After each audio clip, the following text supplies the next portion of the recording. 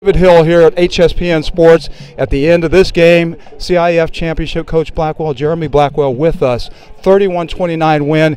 I watched this thing throughout. It seemed like you went right with your typical script. Is that correct, Coach? You went right to the script. Well, we got we got a very limited offense. We run about four plays off, uh, uh, runs, four passes, and when the game's on the line, we went straight to Joseph Garcia on the off tackle to the right. Um, these guys really have been playing um, football since about 2008, and they run our offense and our defense, you know, top down. And so they So they uh, run this offense their youth yeah, as well, so they know what they're doing. Grade 26 was the very last play we ran. The, the, the play they installed ga- day one when they were eight years old, and so they really can run it in the dark. And um, Speak to the importance of how important it is to have that youth foundation done. Speak to our audience about how important it is for youth football players to know what they're doing. for us, it's made a huge difference. You know, we uh, three years ago we were four and six, and um, these guys rolled into town and they run this offense, they run this defense, and the the seniors, you know, they've they've uh, played 31 football games in two football seasons. We just went.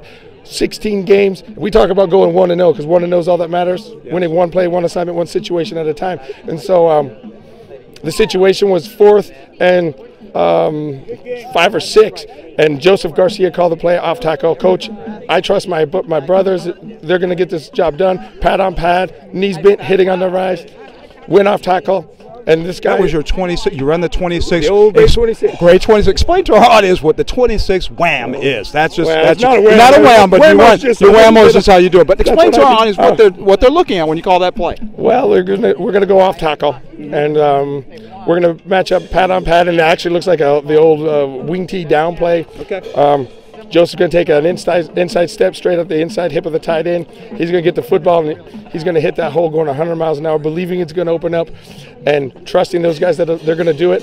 And that's the difference in this football team. They all trust and believe that they're going to hit That is the thing that I love the most. I heard you talk about the trust of this football team. I watched you convert critical, critical fourth down plays. Well, most most teams are going to put the ball in the air. You trust that your guys up front and Joseph is going to get the job done. Talk about that trust. Well, it, I think it has to do with repetition. Repetition is the mother of all skill. If you want to be good at something, do it over and over and over. They executed the details of their assignment with great effort. We expect big things from them all the time, and um, you know we, we we, we're very hard on these kids. Like they love us, but sometimes it, it's got to be some tough love, you know. And so you're grinding on them week after week, and it's been 16 weeks. Untrue.